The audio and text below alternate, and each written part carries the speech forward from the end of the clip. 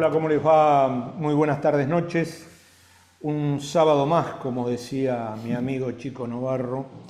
Eh, y un sábado que usted va a tener un programa, eh, no sé si decir para deprimirse, Para, para tener esperanza en el segundo bloque, porque hay gente que hace cosas real por el otro y para el otro, pero va a tener un programa, un programa duro, un programa duro con un cineasta joven, tipo de 40 años. Es muy bueno eso, ¿no? Que haya relevos también en materia de la cultura, del cine, y que a su vez tengan memoria.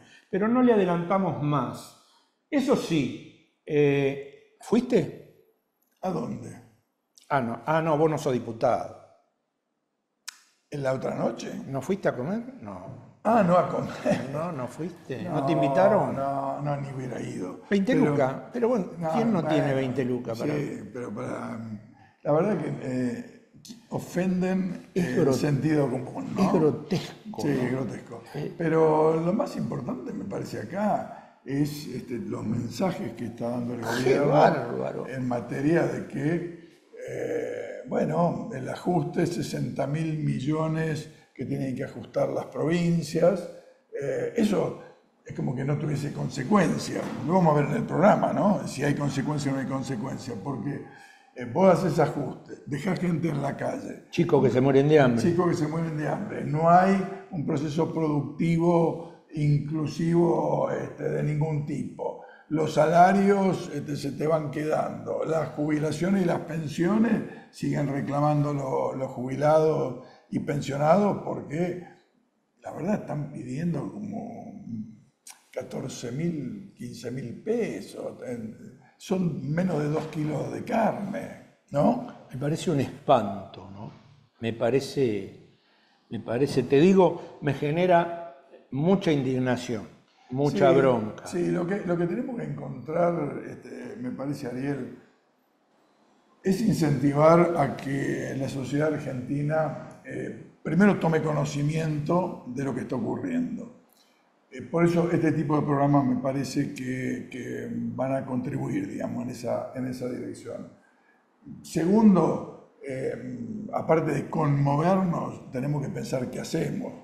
Algunos lo pueden hacer desde el punto de vista solidario, este, ayudando a otros. Y otros este, podrán hacerlo eh, en debates, en discusiones, en organizaciones, y me parece que no hay que desconfiar de todo. Que por supuesto que tiene que haber una nueva dirigencia política, social, sindical este, en la Argentina, porque esta, hemos demostrado que tenemos mucha mediocridad y que no estamos a la altura de los desafíos en muchos aspectos. No voy a generalizar porque siempre malo, hay muchos que sí están a la altura. Pero me parece que, lo que tenemos que hacer es este, no pensar que va a venir una nueva dirigencia mágicamente, que hay que comprometerse, que hay que organizarse, que hay que participar, que hay que debatir, que, que hay que debatir incluso con lo bueno y con lo malo que se ha hecho en la Argentina este, en el último tiempo. Y todos tenemos que asumir nuestra cuota de responsabilidad, pero siempre hay algunos que tienen más responsabilidad que otros. Pero ¿sabes qué pasa? Eh, bueno, acá venimos todos los programas con esta historia, ¿no? Eh, a mí ya me parece no solo bizarro, sino que me parece que vamos camino a un final trágico, porque... Sé más explícito, a ver.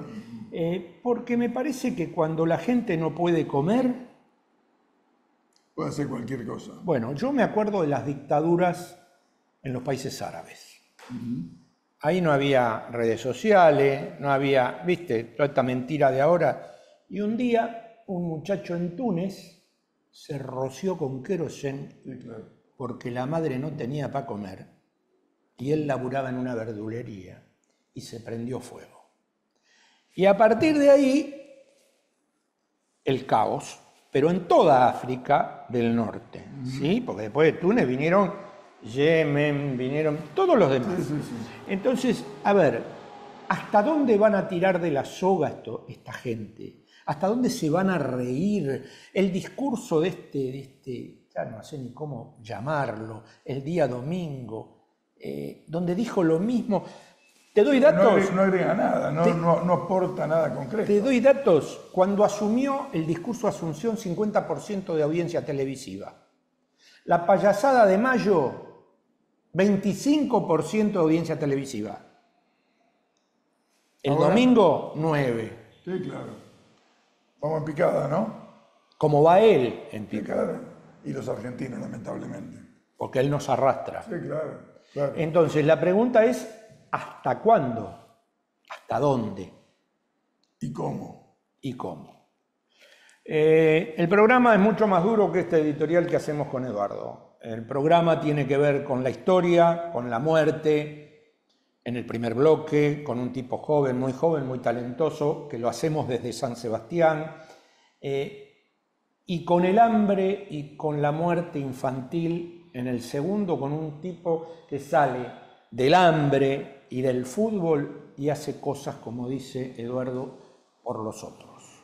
¿Vamos ahí? Vamos al programa. Vamos al programa. Nicolás Gil Lavedra y Omar Pelusa González en Políticas de Estado. Bueno, decíamos en la introducción que íbamos a tener un programa muy pesado, de mucho volumen y sobre todo, sobre todo, bueno, los dos bloques, pero el primer bloque tiene que ver con una parte de la historia que tanto vos como yo sufrimos en carne propia, porque el invitado, que es cineasta, que es el que hizo este documental que es fantástico, nació en diciembre del 83. Claro, en, la democracia. Casi. Casi. Nicolás Gil Lavedra, eh, gracias por estar en Políticas de Estado. Eh, y por ahí, bueno, me imagino que, que hay preguntas que son verdades de perogrullo, pero la primera pregunta que me surge en este tema del documental que hiciste, que me pareció fantástico, Traslados, es cómo se te ocurrió ir a ese lugar de la historia. Bueno, muchísimas gracias por, la entrevista y por el espacio. Eh, a mí me convocan en febrero del año pasado, soy Hodgman, la productora, que es quien tuvo la idea de hacer la película. Y, en primer medida dudé porque no, nunca había hecho un documental, eh, pero me parecía que era un tema muy importante. Yo sabía lo que eran los vuelos de la muerte, no en tanta profundidad, pero era un tema que tenía que ser tratado de manera responsable y, que esté Eduardo Anguita, bueno, Daniel Cecchini en la investigación me daban mucha seguridad. Así que me embarqué en lo que fue, empezamos en marzo con la investigación, y, me embarqué en, lo que fue juntar las piezas, porque todo lo que se cuenta en el documental ya había sido de alguna manera expuesto o contado. La diferencia es que al verlo todo junto se vuelve muy potente. Eh, Nicolás, ¿y cómo, cómo, se va armando el equipo? Porque Eduardo es un profesional, Eduardo Anguita es un profesional muy importante, este, lo conozco mucho. Este, eh, pero juntar las distintas cabezas fue fruto de, tu rol como director o, cómo se hizo? Pues fue fruto de, bueno, primero de, de Zoe, de Gabriel Hochbaum, que, que lo conocían, también de Infobae, de Infobae que se sumó como productor asociado. Eh, y ahí fuimos armando el equipo. Eh, lo primero era la investigación, que estaba a cargo de Eduardo, con, con Daniel Cecchini, que colaboraba y, trabajaba a la par que él. Después el guionista, que surge de la productora también, Gustavo Gertzberg. Y, después fuimos armando el equipo de común acuerdo. Bueno, Santiago Parisou, montaje, Laura Matarolo, que es alguien muy importante en archivo, porque la película tiene una gran pata de archivo y es muy necesario. Eh, pero en conjunto después fuimos tomando determinadas decisiones. Lo que sí, eh, la investigación nos dio los testimonios, que era lo más importante, eh, y después fuimos pensando, bueno, cómo mostrar el archivo, cómo mostrar las recreaciones. Tiene bastantes recreaciones el documental para mostrar lo que los testimoniantes cuentan y dar voz a esa ausencia que por el tiempo y por, por, porque hay muchas personas que hoy no pueden contar lo que vivieron, eh, se fue formando lo que era Traslados, que es un documental, bueno, de investigación, valga la redundancia, pero que te, termina dándole voz y entidad a la ausencia, ¿no? Y un, y un documental que apela a algo que con Eduardo venimos diciendo desde que empezamos el programa, que apela a que la memoria no quede, no quede en el olvido, ¿no? Precisamente que se recree en la memoria todo lo que pasó en esos, eh, desde el 76 al 83, ¿no? Bueno, con el documental pasó, sabíamos que era importante, después se fue volviendo, cuando lo terminamos o cuando terminamos de filmar, eh, se fue volviendo imprescindible por, lo que estaba pasando en Argentina. Eh, y este año, cuando estrenamos, fue justo una semana después de que se conocieran las fotos de los diputados nacionales visitando a Astiz en la cárcel, lo cual eh, nos muestra un poco esta falta de memoria o cómo Argentina se vuelve un poco cíclica eh, en, el documental hablamos mucho de los 90, que son los años de impunidad, y cómo de alguna manera eso intenta volver en la actualidad, pero, pero pasó algo con el documental, con la gente, al menos en las salas, que estamos agotados, que, que, la gente se acerca a las salas, que las dos funciones diarias están prácticamente agotadas. Ayer me contaban, yo, yo no estoy en Buenos Aires, pero me contaba el guionista que pudo ir a, la función. Nada, 200 personas, eh, y, eso muestra un interés también en, armar una memoria colectiva y, en no dejar esto en el olvido, ¿no? Y me parece que la sociedad tiene hoy ese rol de, exigir que esto no quede en el olvido, ni se targiverse, ni, ni, que se cambien las cosas. Pienso en, la semana pasada se habló mucho de, del sobre de la sociedad, la sociedad rural, que todo el mundo condena y repudia, pero uno no puede llamar eso terrorismo, o no puede llamarlo terrorismo de Estado como intentó insinuar en un momento la ministra Bullrich. Terrorismo de Estado es el Estado con todas sus fuerzas unidos para ir en contra de algo y cometiendo ilegalidades. Eh, y eso hay que, hay que remarcarlo y me parece que las palabras están por algo y, terrorismo de Estado es lo que nos sucedió del 76 al 83. Por supuesto que, que yo condeno el terrorismo también, condeno de los atentados terroristas, pero el Estado como Estado tiene que velar por la seguridad, proveer justicia, eh, no tiene que desaparecer gente, ¿no? Me parece muy importante las precisiones que haces. Este, ¿Sabes por qué? Porque últimamente se confunden o se tratan muy ligeramente las palabras y los significados. Yo leí en estas horas, por ejemplo, no te quiero meter en un tema, pero no puedo dejar de comentarlo, eh, unas declaraciones eh, que realizó la vicepresidenta este, de la Argentina, Villarruel, donde ella dice la democracia y eh, un gobierno si está al lado de las necesidades populares tiene directa relación si los chicos están incluidos o no están incluidos. Un gobierno que tiene casi 70% de chicos que se van a dormir este, sin comer, que están por debajo de la línea de pobreza. Entonces, me, hiciste acordar en esto, ¿no? Es como, como es importante que las palabras signifiquen algo. También se lo digo como político a mis compañeros políticos. Claro. Han, perdido sentido a veces el, valor de la palabra. Este, eh, eh, me parece que ese es un tema muy importante, ¿no? Muy importante. No, y, me parece que, digo, eh, en un país como el nuestro, no, no es casual que tengamos 70% de pobreza. Digo, tiene que ver con algo histórico, tiene que ver con lo que los, el poder económico, los lugares que nos llevó, las decisiones que tomó, y el poder político también es responsable.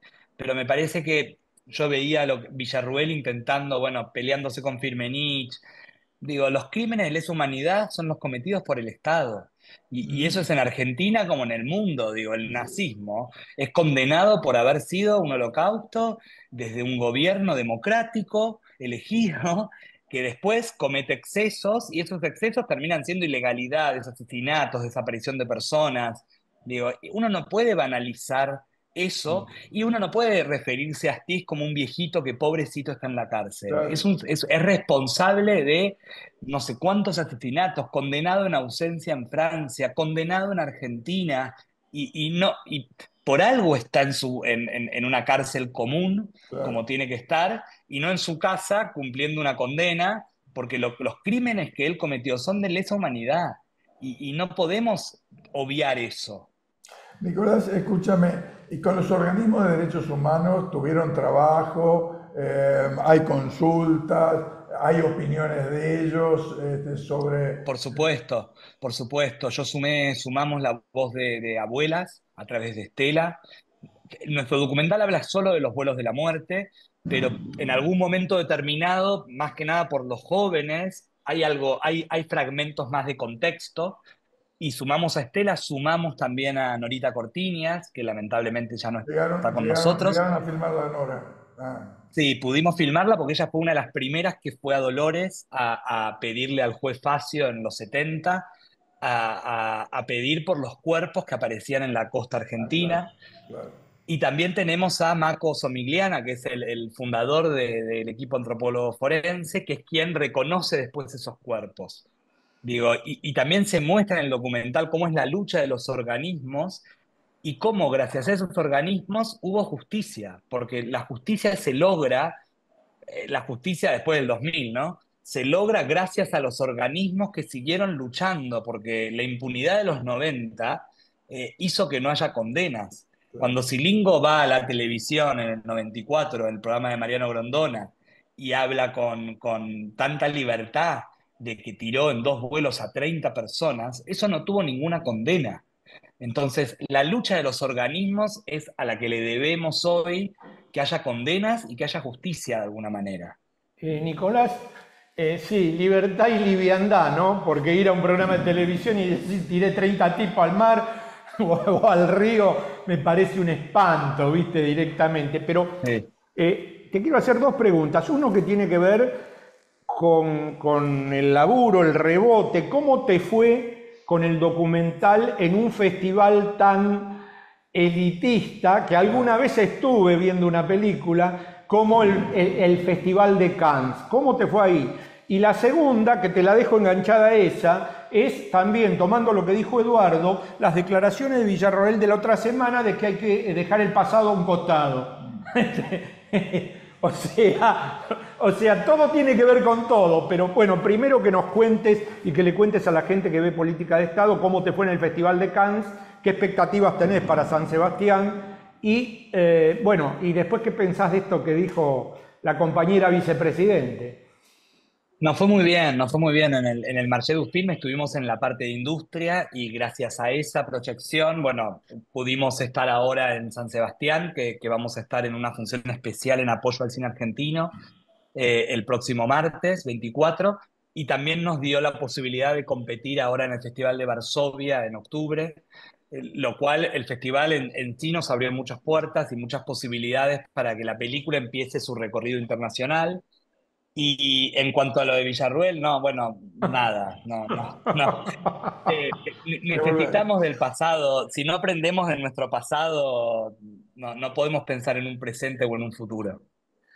Decime, eh, en la investigación, ¿hay antecedentes? Te lo digo con ignorancia el tema. Eh, de aquí en la Argentina me queda claro que en el periodo de la dictadura estaban los vuelos de la muerte, eso eh, no hay duda, y, la película de ustedes, el, documental, eh, lo, certifica. Pero ¿hay, hay otras experiencias mundiales? ¿Han detectado otras experiencias de, barbarie de esta característica? No, bueno, está la guerra de Argelia, que, que de ahí es donde toman los militares el método, ah, eh, que era tirar los cuerpos lo más lejos posibles de los lugares del hecho. Hay, hay algún indicio de, de Chile, pero la realidad es que como no se han recuperado cuerpos, eh, no se sabe, y también hay algún indicio, lo mismo de Brasil, pero los números son menores. En Argentina eh, el método fue mucho más eficaz porque había un vuelo semanal desde la ESMA y dos vuelos semanales desde Campo de Mayo, en donde en un vuelo podía haber desde una persona hasta 20, 20 y pico. Entonces es muy difícil decir un número también, pero lo se pudo probar gracias a los errores de la marea que devolvieron esos cuerpos. Y eso hizo que uno pueda pensar en, en, en, la reconstrucción del hecho. Sin cuerpo no hay delito. Entonces era mucho más difícil de probar. Claro. Eh, bueno, ahí se recuperaron muchos cuerpos, ¿no es cierto? Que están eh, muchos... 65, sí. ¿Cuántos? 65 nomás. Ah, 65. Es un número muy inferior para la cantidad de vuelos que, se supone que hubo. Y hay casos como, por ejemplo, el Palomar, que se puede comprobar jurídicamente todo el traslado hasta la pista, pero de la pista en adelante no hay pruebas.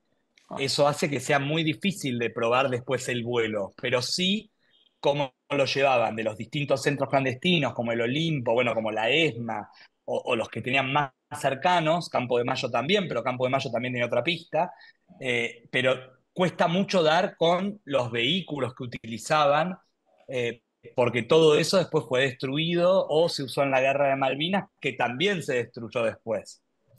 muchos de esos cuerpos que la marea trajo a, tierra eh, habían sido enterrados como en ¿no? Sí, en el cementerio, bueno, en, muchos cementerios de Uruguay, como es el caso del cementerio de Colonia, que había 20 cuerpos, eh, y en Argentina, en el cementerio General Lavalle, en, bueno, en provincia de Buenos Aires, porque, porque era la costa que, donde aparecían. Citaste Chile y Brasil, vos sabés que hace unos días eh, falleció un querido amigo eh, que tuvo el pecado de ser comunista y que estuvo internado, va internado preso, yo te conté a vos, eh, que fue director de un colegio en Valparaíso, en los barcos de la bahía de Valparaíso del almirante Merino. Y él contaba, él zafó de casualidad porque la suegra era jueza, bueno, y pudo sacarlo después de un mes de torturas, de las cosas más espantosas que se te puedan ocurrir. Él contaba que, bueno, que Pinochet los tiraba directamente al mar y que él sabía por los guardias y los torturadores que les ponían una piedra y ¡ping! a la bahía de Valparaíso. Eso no se recuperó nunca ni se investigó nunca, o al menos no se tuvieron resultados. No, es que no hay, cuando no hay resultados es muy difícil. Esto que, que explicaba recién, sin prueba no hay delito. Entonces es muy difícil seguir esa pista y reconstruirla. Hoy la, prueba más eficiente o eficaz en Argentina tiene que ver con, la, con los testimonios orales de los colimbas, que gracias a ellos se pudo hacer una gran reconstrucción de cómo eran los traslados. Porque salvo algún caso puntual como el del Skyban, que, que se recupera el año pasado en Argentina, eh, después es muy difícil hacer toda esta reconstrucción de, de, por dónde pasaba el detenido desaparecido y eh, después dónde terminaba.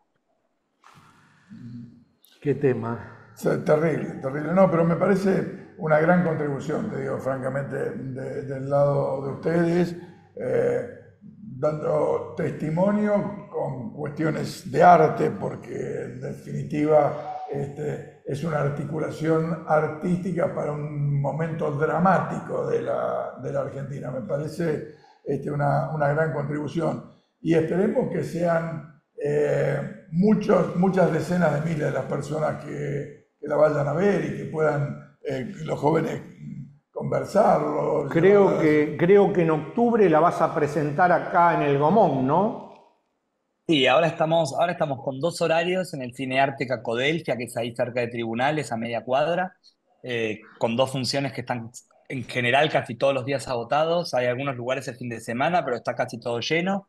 Y vamos a estar el 2 de octubre en, en el Gomón, en la sala 1, presentando la película y tienen pensado, habrá posibilidades que la dispongan en las escuelas, que haya un debate entre los estudiantes secundarios. Me parece importante, habrá un, una etapa lógica desde el punto de vista comercial y difusión, pero me parece que, es una, una, película, que, un documental que, que está bueno llevarlo a los ámbitos de la cultura, del estudio, de la investigación, de, en, las barriadas populares, en los clubes.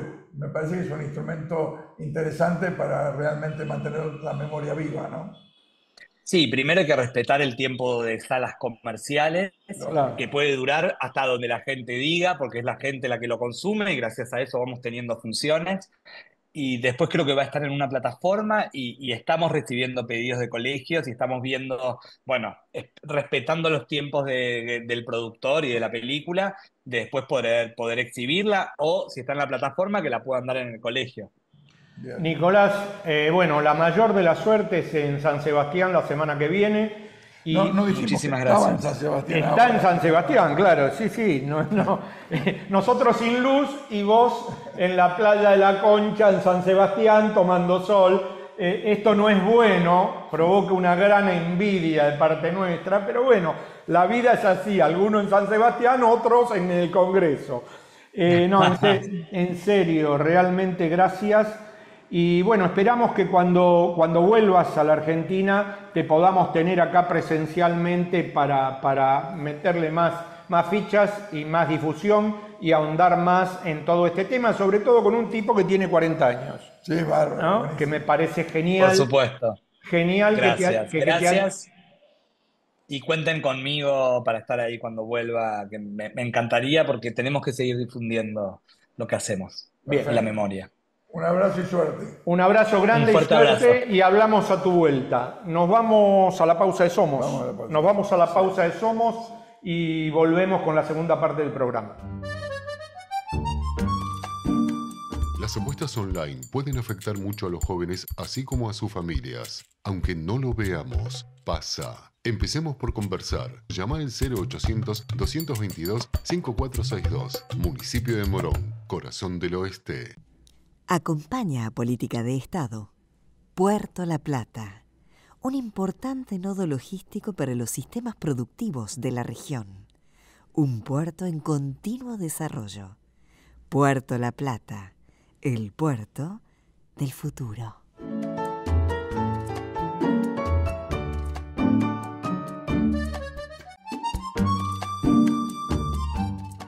Bueno, después de un primer bloque conmovedor muy especial, ¿no? Porque recordar los aviones de la muerte y recordar que un tipo de 40 años se meta a hacer cine y a hacer testimonios y realmente me parece eh, abrir cabezas a que el pasado no se olvida. Sí, claro. No, se tira abajo de un desván. Ni el pasado ni todo lo que pasó alrededor del pasado. ¿sí? Eh, pero bueno, ahora también seguimos, porque ahora Ahora Omar Luis alias Pelusa González, que jugó con Maradona, eh, dejó el fútbol y se dedicó a hacer eh, lo que muchas veces desde los gobiernos no se hace. No se, hace. ¿Sí? Eh, se dedicó a hacer acción social por la DEL. Gracias por estar en Políticas de Estado. Un placer estar con ustedes, realmente es un placer los miraba siempre y yo día voy a estar en esa mesa charlando. y bueno, Dios me cumple todos esos deseos. Y aquí estoy hablando de lo que hago. Yo soy fundador de Algoy Solidario, es un grupo que nuclea a algunos jugadores de fútbol y que nos dedicamos a recorrer nuestro país y a llegar al terreno y estar cerca del más necesitado. Es decir, los clubes dicen social y deportivo, todos, pero que lleguen al terreno, que pisen el terreno del necesitado, Algo Solidario hace 32 años que lo hace y nosotros acompañamos esa tarea y es la que realizamos hasta el día de hoy. Por eso creemos y consideramos que somos una palabra autorizada para hablar del hambre y sus consecuencias. Y aparte vos dijiste, vos sabés que me, me pasó algo notable, porque el tipo en un momento dado dice en un reportaje, yo sé lo que es el hambre. ¿Cómo llegaste a, al hambre? y que empiece contando. a, los solidarios porque claro, por el hambre, la vida, digamos, soy hijo de padres separados. Mi madre, una mujer que hacía adobe, ladrillo, y a la mañana hacía el tambo, sacaba la leche a la ruta, y un día veo a mi madre llorando. Le habían engañado con los números de la cantidad de leche, y entonces yo le prometí a mi madre que iba a triunfar en el fútbol y que ya no iba a trabajar más. Mi madre me miró y me dijo, me conformo con que triunfes en la vida y que no, me, no quiero verte con las manos esposadas. Esas son las reglas de oro, reglas de oro que me quedaron a mí para toda la vida. Muchas veces pasé hambre y jamás intenté tocar algo que no era mío, sabiendo que si me robaba una manzana salía corriendo, pero me convertía en un ladrón en cuestiones de segundo. Y el hambre, muchas veces mi madre nos daba mate cocido con pedacitos de pan y me decía que era sopa. Ah. Y ese ruido en la panza yo no me lo olvido más. Por eso es que un día dije, bueno, no juego más al fútbol. Y dice, soy muy joven, no juego más. Me quiero dedicar a, a trabajar y no quiero que ningún niño de mi país sienta el hambre o el dolor en esa panza, ese síntoma que es el hambre. Este, eh, el, el síntoma que yo sentí, no quiero que lo, que lo sientas. Y bueno, es una lucha.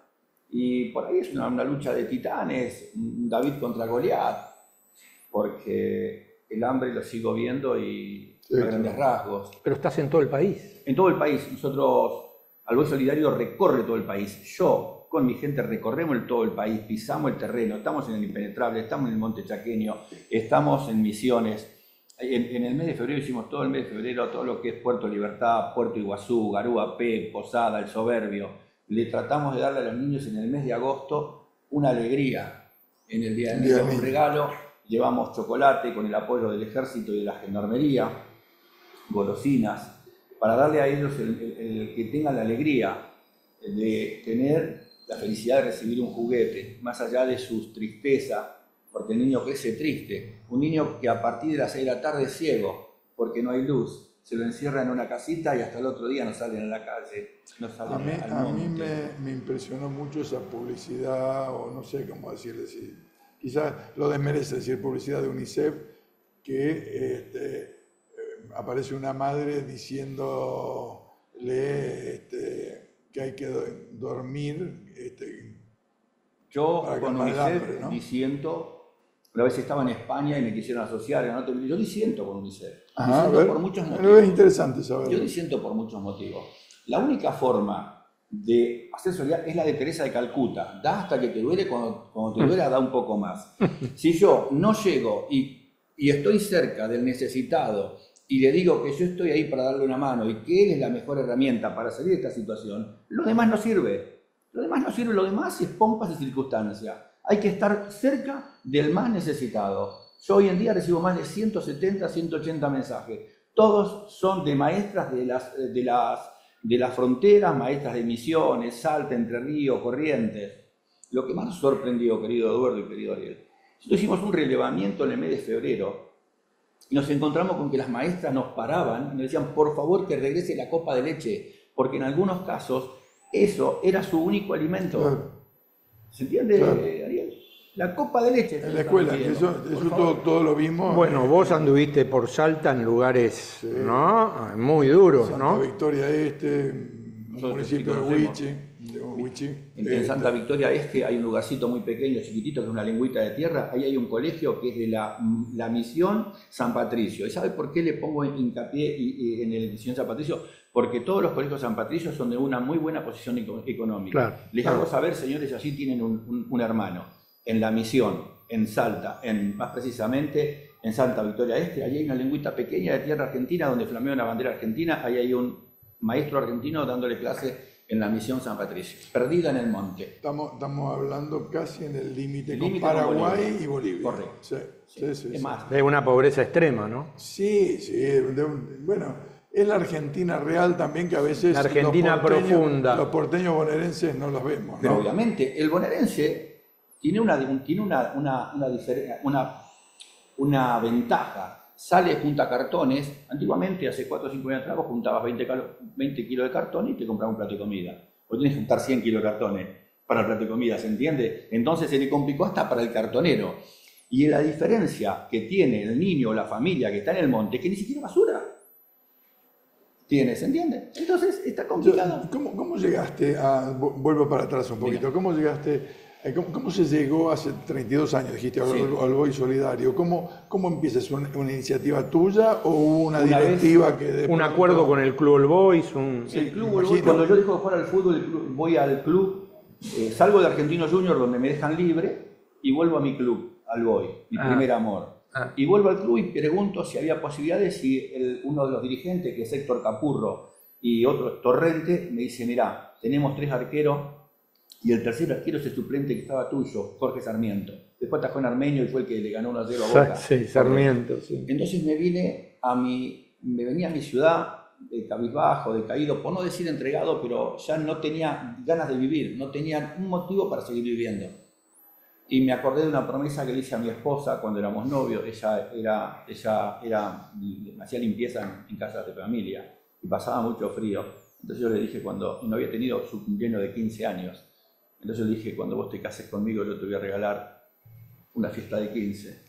Y todos los 7 de diciembre le cumplo el cumpleaños de 15 años. Y eso fue lo que me dejó seguir viviendo y el compromiso de haber hecho esa promesa y tener que cumplirla. Mi vida no tenía sentido. Ahora, cuando vas eh, al interior, eh, los gobiernos provinciales, yo qué sé, para preguntar algo, porque si no, este, ¿qué vamos a hablar? ¿De todas las cosas buenas que hace? Bueno, de las cosas buenas que hace, ¿qué pasa cuando llegas?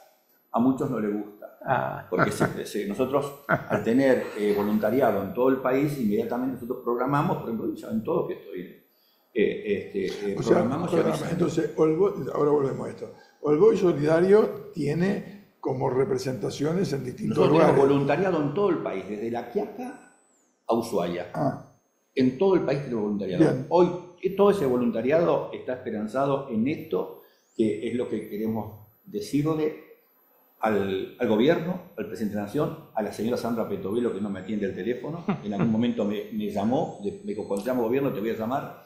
Y yo dije, mire, no necesito trabajo, yo necesito que hagan las cosas bien, yo necesito que los chicos no pasen hambre, necesito que bajen al terreno. Días atrás vi una foto de ella con el, con el gobernador del Chaco. Y escribo, mire, no me sirve esa foto. A mí me sirve que usted vaya al impenetrable y esté cerca de esas monjas, de esas maestras que le ponen el hombro día a día y que hacen y cocinan con lo que tienen y con lo que pueden. Yo he visto cosas realmente muy dolorosas. He visto niños durmiendo en un pozo tapado con perros. He visto mamá eh, eh, abrazadas a niños que les salía de la cola unos bichitos y eran esos parásitos blancos y la madre se los sacaba así.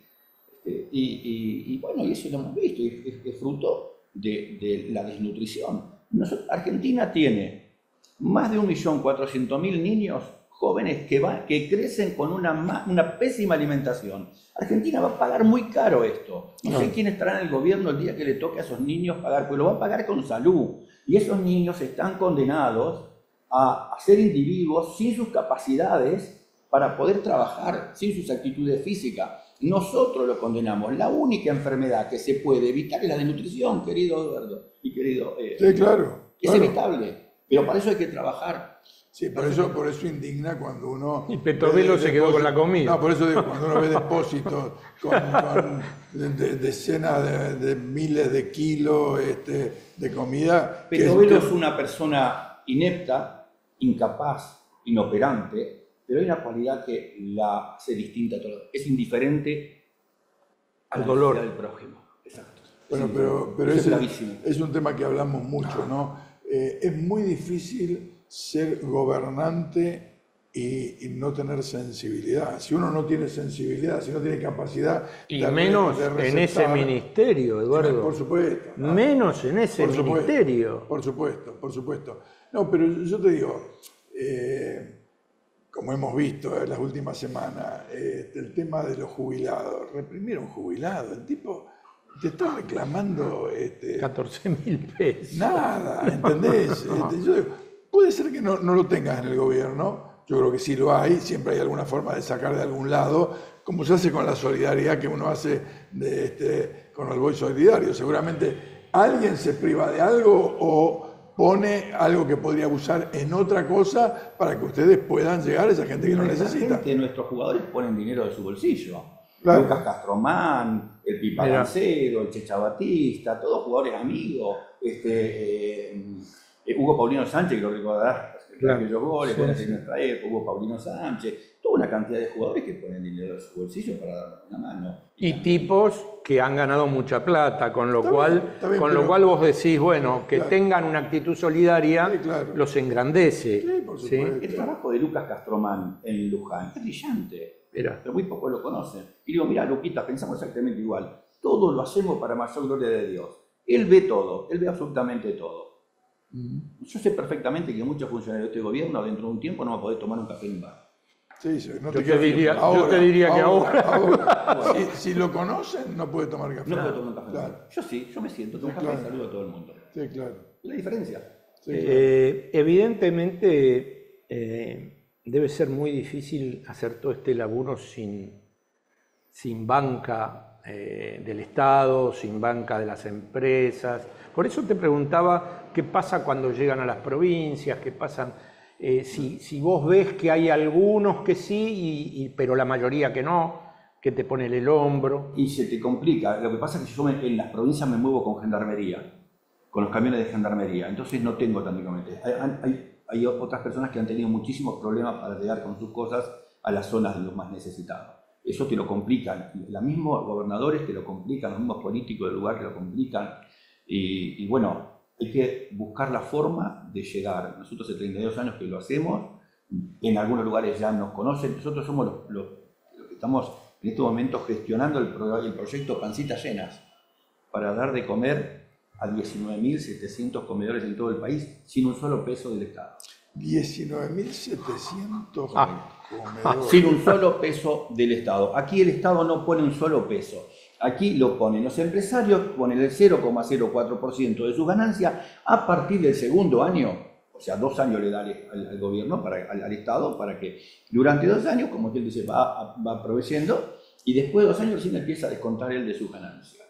Nosotros con tenemos lo que es los menús y los controles. Hay una mesa que es la, mesa controladora que va a controlar que en los distintos comedores la persona que es responsable de la tarjeta que se le entrega, el, menú se respete. Llegamos, lo visitamos y le preguntamos, Ariel, ¿qué hay que comer los chicos? ¿Qué dice el menú? Arroz con pollo. ¿Por qué hiciste polenta? Y no, no, tenías que hacer arroz con pollo.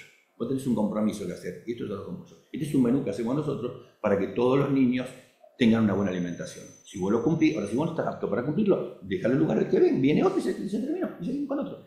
Y hay, hay, hay así eh, actitud solidaria en mucha receptividad. o, o, no. Pues yo, yo sí lo veo eh, lo veo acá. Pero yo te puedo podría nombrar pero digo porque, eh, a, ver, algunas preguntas son media obvias porque uno los conoce pero, está bien que, que quienes nos están viendo claro sí nosotros recibimos mucho apoyo de, de supermercadistas de empresas lácteas y también muchos de exjugadores que nos dan una mano, tipos que nos llaman, como nosotros no manejamos dinero, nosotros no manejamos dinero, no manejamos dinero, nosotros necesitamos un medicamento que sale 5 millones de pesos, ¿dónde lo compramos? En esta farmacia, perfecto. ¿Cuánto? Me das tu CBU, te vamos a depositar. Hacemos una campaña y decimos, señores, vamos a cubrir el gasto de esto. Se vos pones 10 mil pesos, perfecto, listo, se cubrió el, el dinero. Por nuestras manos nunca pasó el dinero. Nosotros hicimos un colegio en Misiones sin tocar un solo peso eh, por nuestras manos. Nunca pasó un peso por nuestras manos, hicimos un colegio en Garúa P, escuela 334 secundaria, este, la hicimos sin tocar un solo peso. Dinero que vino de empresarios y algunos jugadores de fútbol que aportaron ese dinero, contratamos una empresa, se contrató una empresa, se construyó el colegio, y después se inauguró. Hoy los niños del Monte Misionero tienen una escuela modelo. Y ahora tenés una campaña de zapatillas, ¿no? Nosotros tenemos la, campaña que tus zapatillas sigan caminando. Nosotros tenemos distintas campañas durante los meses. Arrancamos en, febrero, eh, seamos más útiles. Juntamos útiles y los distribuimos a todos los colegios. Después tenemos que tus zapatillas sigan caminando. Es una campaña para conseguir zapatillas en buen estado y la distribuimos. Hemos, hemos juntado hasta 7.000 pares de zapatillas. La distribuimos en distintos colegios, los más necesitados. Después tenemos una campaña por la paz soy capaz, es decir, por la paz soy capaz. ¿De qué sos capaz de hacer cosas? Tenemos personas como Soledad Silveira, eh, Adriana Salgueiro, un montón de artistas que nos apoyan y nos dan una mano. Y, bueno, por la paz soy capaz y sos capaz de hacer distintas actividades. Y bueno, mira, voy a donar esto. Entonces nosotros en el mes de septiembre tenemos eso, la paz, por la paz soy capaz, en virtud que el 21 es el Día Internacional de la Paz, y vamos a visitar a las mujeres privadas de la libertad y la vamos a asistir. La mujer cuando cae privada de la libertad pierde absolutamente todo, pierde a su marido, pierde a sus hijos y pierde a su familia, queda sola. De 30 a 50 eh, eh, chicas que están privadas de la libertad, este, solamente una en Navidad puede tener visita. Muchos te juzgan y te dicen, pero vas a ver esas mujeres, déjale esas cosas para Dios. A mí déjame hacer que comparta con ella un mate y lo demás que lo haga Dios. Decime, y eh, se llama Olboy Solidario. Olboy de Floresta. Por el club. ¿Y cómo se contacta la gente para ponerlo en pantalla con ustedes? Buscan en Facebook Olboy Solidario, buscan en, ponen así Omar Pelusa González y encuentran desde mi celular hasta el lugar donde vivo. Ese soy yo, 32 años. Lo más caro que tengo, en mi, me conoce todo Mercedes, como el hombre de la bicicleta. ¿Sabes por qué? Yo tengo una bicicleta. Me la robó un chorro y me la devolvió. Dijo, lo robé al tipo. Argentina, Se la, Argentina, se la robé a uno equivocado. Argentina año La verde. entregó y dijo, se la robé al tipo más bueno de Mercedes. Y me devolvió la bici. Me llamó, este- me y me dice, mira, esto pasó, después, bueno, no, mire, hagan lo que tengan que hacer, yo lo perdonaría porque el hombre se arrepintió y ojalá ese, arre- ese arrepentimiento le sirva para toda su vida. Un chorro me devolvió la bicicleta. Fui a la- hace una semana, fui a la fiesta del salame. a Ah, Mercedes. no pude ni llegar, mira, me cansé de hacer cola y me fui. Bueno, me hubiese- me hubieses avisado y te llevamos a un lugar que tenemos nosotros que se llama Oveja Bar, que es el lugar donde nosotros nos juntamos, y ahí vas a comer buen salame. Y, y- No, salame, salame, salame comer. traje, eso sí. Ah, bueno, pero te vamos a invitar, claro. Bueno, Omar, eh, muchas gracias. Mm, Vos llamaste alguna vez al programa. Yo dije quién es este tipo, te busqué, se lo comenté a Eduardo eh, y, Ah, acá, y, y acá está. ¿no? Igual y voy, voy a, voy a meter una. Me parece excelente lo que haces, el grupo, lo que hace. Y también damos una reflexión. El Estado no puede estar ausente de esto. Está muy bien lo que Todo está hacemos. ausente. Por eso, pero no puede estar ausente. Parece una noticia vieja el hambre, Sí, pero claro. noticia vie- no es una No, noticia vieja, mi amigo. claro, no debemos hacer que se apague el fuego sagrado y que esos niños no pasen hambre. Es nuestra obligación no hacer silencio, no callarnos. Claro. Y hacerle saber a esta señora Sandra Petovelo que está ahí por cuatro años y dentro de un tiempo nos va a poder tomar un café. Y, y no la van a felicitar Bueno, pero se fue a sacar foto La con el Papa. Le escribí al Santo Padre con el cual me une una gran amistad, fui su sacristán, le escribí y le pedí que por favor le hable del 52% de pobre que tiene Claro, este país, claro. que produce alimentos para 400 millones de argentinos y el 52% de este, de este país es pobre y esta señora tiene una gran parte de esa culpa. Discúlpenme si... No, si no, pero- no, pero No, no, a mí, yo me- me- medio como te clavé el puñal con el tema, pero me parece muy Santo, bien. el Santo Padre me ha declarado persona de su máxima confianza y me une una gran amistad. Amo al Santo Padre, respeto al Santo Padre y por eso me atreví a escribirle a su correo para que le, le- le llegue a través del secretario y que sepa mi pensamiento sobre esta persona que recibe. Él puede recibir a todo el mundo, por lo menos que le diga, hace algo, porque eso condenaste a una X cantidad de niños a morirse de hambre. Es triste lo que nos pasa a nosotros. Bueno, Bueno, muchas gracias. Muchas gracias. Por lo que haces. Un placer. eh, vos tenernos al tanto que nosotros vamos a reproducir las cosas que hagas y, y bueno, y es altamente encomiable, ¿no? Eh, vamos a- al puerto. Vamos al puerto y después ya. Y después nos, vamos. despedimos. Eh, vamos al video de- del puerto como todos los sábados y después nos despedimos hasta el próximo sábado por Canal 7 Somos eh, de Cablevisión. 517 de Flow y por supuesto por YouTube en el canal Políticas de Estado. Chau, que la pase muy bien. Y fue un programa duro, como le dijimos, pero bueno, creo Es la que realidad. es la realidad, que es la única verdad y abrir cabezas es un poco lo que nos planteamos con Eduardo cuando empezamos Políticas de Estado hace tres años. Chau, buen fin de semana. Hola Ariel, hola Eduardo. Bueno, estamos de premios hoy, estamos de logros y queríamos compartirlo con ustedes. Algo que realmente nos enorgullece mucho, eh, como les comenté el otro día en el estudio, y bueno, hoy lo quería mencionar en términos específicos, que bueno, obtuvimos el premio de excelencia en la comunicación portuaria y relaciones públicas otorgado por la Universidad de Houston. Eh, bueno, este galardón, digamos, nos enorgullece mucho porque venimos trabajando intensamente en esta cuestión de poner en valor el puerto comunitariamente y en ese sentido les agradezco también a ustedes que nos ayudan desde este espacio. Así que bueno, eso es una gran alegría para todos nosotros. Eh, y por otro lado, el otro gran logro, en el que fuimos partícipes secundarios realmente, pero que nos enorgullece mucho. Eh, como ustedes saben, eh, aquí en el astillero Río Santiago se construyó un artefacto muy grande de 600 toneladas, que es la compuerta para un dique seco.